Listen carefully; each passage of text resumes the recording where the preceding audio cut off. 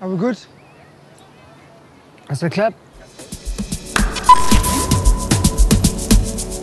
My name is Ayanda Makayi, and I am a man. I'm a South African man, an African man. But what does this actually mean? In a world and a society unraveling at the seams of tackling gender based violence, in a time when we are trying to redefine our identity, navigating our trauma. Join me on my journey as I try to find out what makes a man. I'm seeking an understanding beyond shocking headlines of gender based violence with people who have lived their own journey.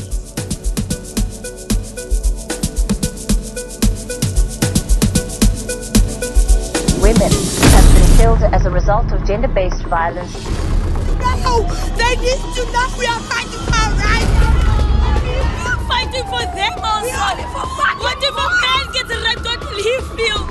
One in five South African women have experienced physical violence by a partner. They are tired! They are killing us! Gender rights activist Andile Gaelesiwe has uh, formally laid a rape charge against her estranged father. I didn't do it for all these years because you're afraid of the system.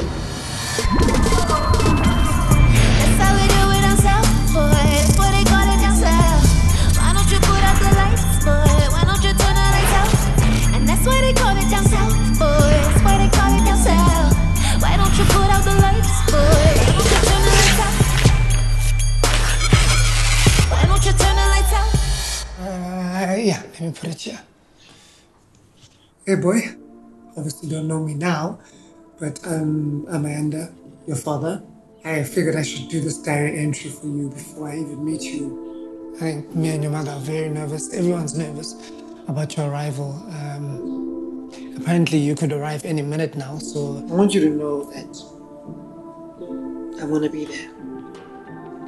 Every step of the way, I want to be there for you. I'm not saying I'll be perfect. Know that I love you. Know that I care for you. Know that I will do anything in my power to protect you and to show you love. We named you Lwaki because Tando for you, Lwaki. And don't you ever forget that. I've- I've just arrived at the hospital. Oh, I'm trying to rush. I'm about to be a father. I'm shaking. Uh, I don't know if I'm allowed to go into, into the hospital yet. I'm gonna try. I'm gonna try.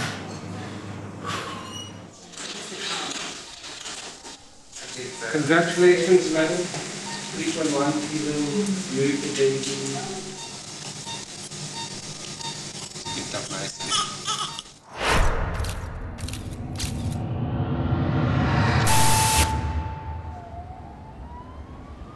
I remember when I first moved to Joburg, coming from a small town in Eastern Cape. I came here and I just saw everything being fast, tall buildings. Everyone is, is, is looking out for themselves. You know, you never know who are your real friends, who are not your real friends. And I don't come from a town like that. I come from a town where everyone knows everyone. I gave in to the pressures of the city. I found myself partying more than I should have. I found myself indulging in drugs, indulging in the culture of multiple women. And at that time, money was coming in. You know, I got excited. I'd never experienced a life like this. And now I've got a son. I mean, I, I didn't grow up with my father. And because of that, I'm worried with how I'm going to raise my son. What kind of man am I going to portray to him to look to look up to? Yes, we, we gender-based violence is is being led by men. How am I going to ensure that my child doesn't grow up to be that man? Yo, you know this little He's the youngest uh, radio host in South Africa right now. I love you guys. Follow me on uncle.vino on Instagram. What better way to start my journey in trying to understand what it means to be a man than speaking to a young man who is the quintessential cool kid of South Africa? Cover them swenko, cover the coolness, cover alles. Yabona manje, eyes ziyakhala. Uncle Vinny, he's the ultimate club hype man with more influence amongst the youth than most politicians. He calls himself the president of the youth.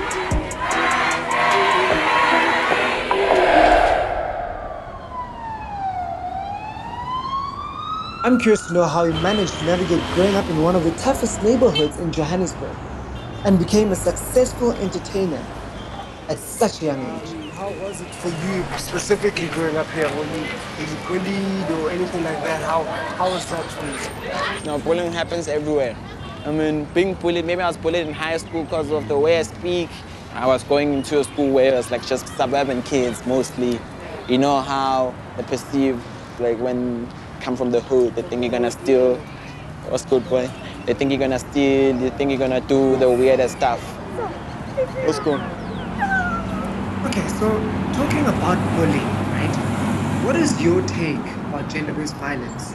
With GBV, I just feel like GBV is, is the most wrong thing on earth to do. You can't scar another person because maybe you, feeling some type of way. So people who stab girls, people who ban them or whatever, I honestly feel like a sentence more less than 20 years in jail is nothing.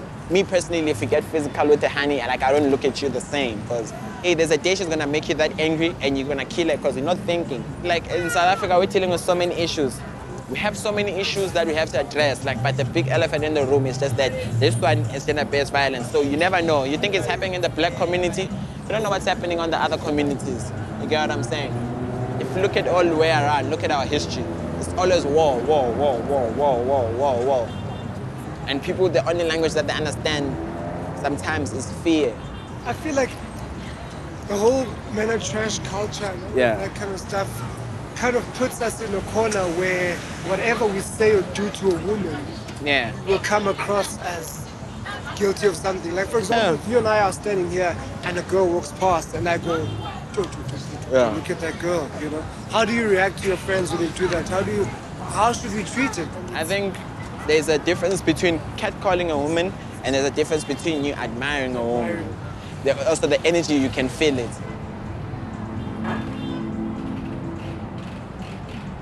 Well, Uncle Vinny has a strong sense of values when it comes to gender-based violence, you know, and respecting women. And I think I want to raise my son to treat women with the same respect. Like abe indoda, not a god. Yabo. But when he does mention uh, the whole aspect of men killing women,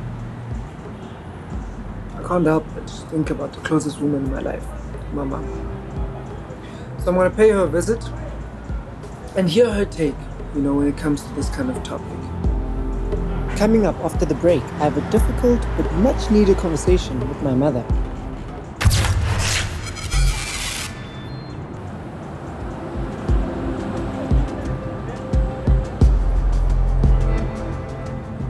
i-first birthday yakhe lena u-ayanda kodwa ke wakhula wakhula wakhula wamdala. Ngoku ke ngoku asekrit u-ayanda anexhala. Wathwala iwigi ndafika ethwala iwigi ngenemini ekrit heyi ndanexhala engumntanam angabi ntombazana. Bebe-excited ukuva ubana uthe undergo le program ndafilisha into yobana yho ndinendoda ndenze into ebomini bam. Ucinga wena yintoni what makes indoda? Yintoni yintoni indoda umntu oyindoda thina silindele okokuba ibe ngumntu oresponsible ekhayeni ebantwini aba-around yena. Ufanele into okokubana abantu bafilishe into okokubana baseyifu so at what point ekukhuleni kwam ke ngoku iyade yaklikha loo nto qonda uba mandibe nguye ke mna ke loo tata? Waqonda uba ube ngutata. Wena wena qonda wena uma ube ngumama notata. Make ndikukhumbuze ayo nanku tata. Mandikukhumbuze mos. Uyazazi mos. Photocopy copy and paste. Copy and paste. Nanku tatakho kuhamba xa bekutheni ke ngoku apha kule age because akekho kwezinye ii-pictures usukela apha. Si- siye sohlukana notata wakho ngo-1997 i think ikhona ixesha apho mna ndandivele ndamjonga njengomntu okhoyo financially as i-financial support but ongekho as laa relationship yonyana notata. I think ke aya ike- ike- ndakufeyila mhlawumbi kuba xa ndaba nengxabano naye ndafowukhasa kum naye. Mhlawumbi mna ndalibala okokuba wena ine-impact. Nakuwe njengomntana oyinkwenkwe think eyona nto bendike ndafuna ukubuza yona is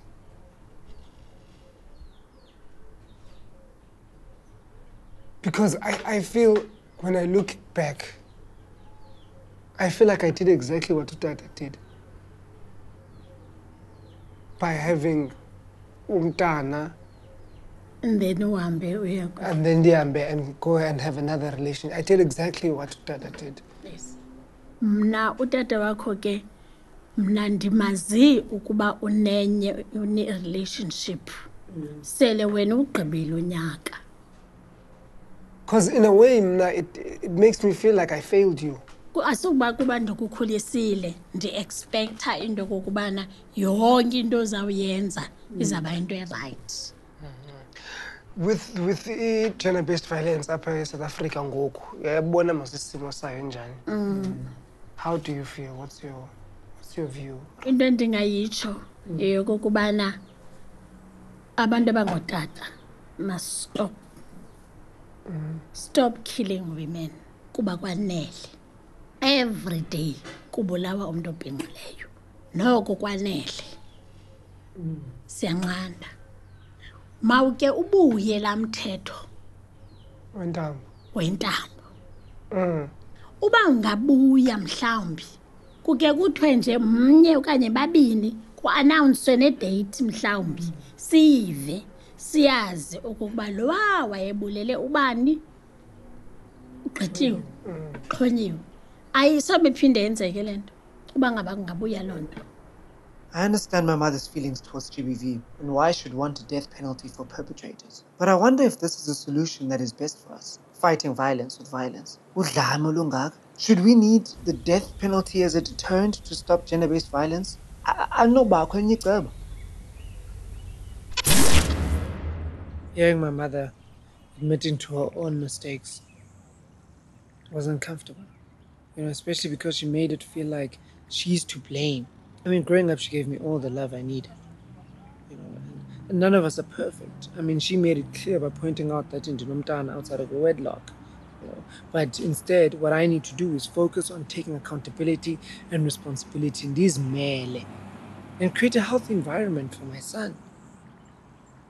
I mean, I was worried when she, or I guess when she told me that she was worried about me wearing wigs and dresses. I did wonder whether how would she have reacted if I was gender fluid or gay, and whether or not me wearing wig at that age does it really define whether I'm a man or not. I mean, so I'm you know. For sure, I know that she's not homophobic or anything like that um, and that she truly would have supported me, um, regardless of my gender or my sexual orientation. But it makes me wonder, and it makes me realize how important it is for Ukbana from Danam, I create a very comfortable environment for him to express himself freely, you know, without any judgment. So yeah, I'm gonna be nganxiba wiki nanini na. yeah, um, you know, growing up at home in a loving and supportive environment, it really helped in, in making sure that in the Pumandisazi, you know, getting a proper sense of self. But my school did play a, a huge part of, you know, me understanding my manhood. And since I'm in town, I decided, you know, let me go past there and, and have a chat with one of the students, who has written a beautiful um, essay about gender based violence and the pressures um, of being a young man. Going to an all boys school had its own challenges. The pressures of a certain type of masculinity. You are more of a man if you played rugby than did drama. You were supposedly more of a man if you were seen or known to have more or multiple women. But one thing remains engraved in my heart since I left the school. Amakwechu. The chance that made us believe in ourselves and our dreams. The camaraderie it created to set path to be a committed young man with a positive mindset.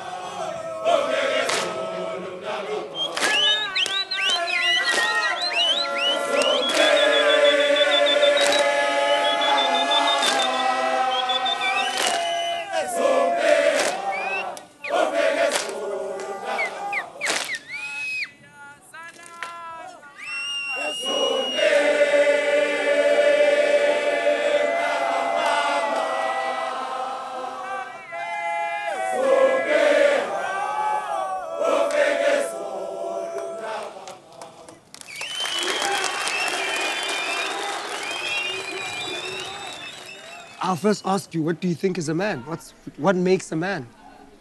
Um, for me, a man is someone who can stand up for what he believes in.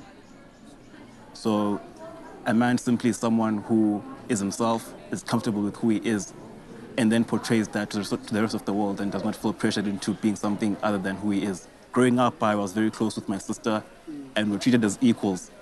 But as we started growing up, things started changing. Different things were expected of me, different things were expected of her.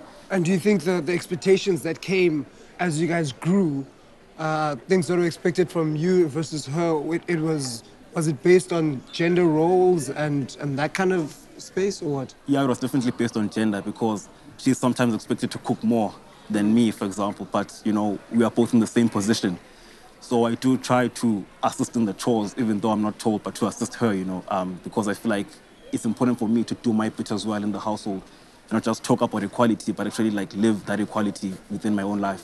Do you think that these expectations kind of, how did it affect your relationship with your sister? we struggle to relate to each other at some point because she's going through uh, different things, I'm going through different things. The relationship was tested in, in that respect. So I don't see myself as better than my sister because I'm male, or I don't see her as better than me. Um, we both have a mutual respect and a, and a deep appreciation of our differences. Um, I don't know. So, so Lugil, have you gone to the mountain? No, I'm going this December. You're going this December. Yeah. What are, you, what are your expectations? I think it's going to be a challenge, but also I, I'm looking forward because I feel like I'm going to learn so much more about my own culture, my own family. And then I'm going to learn more to be prepared for the role that I'm going to take up next um, as a man. Because I feel like um, in Western society, being a man, it's just a matter of reaching the age of majority. Versus in our culture, it's something you have to earn. So I'm looking forward to, earning um, the title and learning the responsibility that comes with manhood. How does that affect how you think now about gender roles? Gen- gender roles are, are defined for us, really. So these are societal expectations. I want to construct my own role in terms of what I want to fulfill. Because for me, a man is not, for example, someone who's strong in the conventional sense or whatever. For me, a man is someone who's helpful in the household, someone who takes charge, who leads, but not necessarily by always being at the front. So it's important for me to define myself um, for myself and then expressing that um, in my family.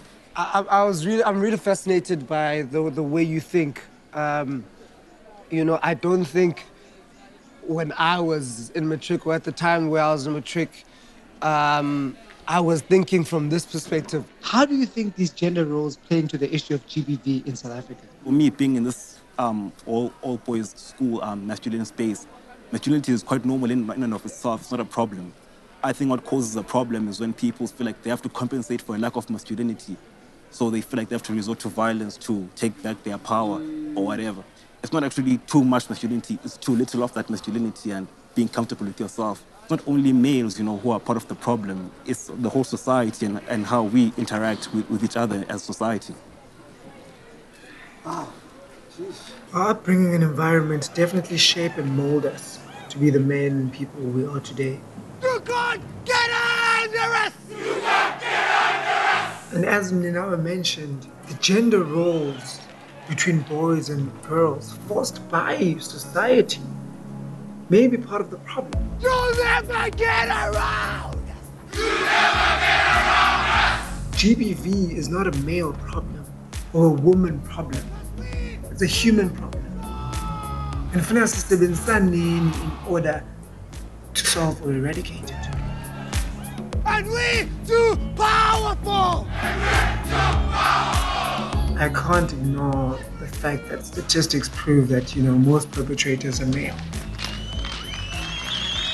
Makes me wonder how can we be better men? Better people? It's clear this topic is even more complex than I thought. So we need to speak to more people. So join me in the next episode where I chat to Big Zulu, Andy Lechalisiwe, and Professor Langa as they share their personal journeys, healing our wounds and eradicating generational inherited trauma and pain. We need a reset. Is this my main card?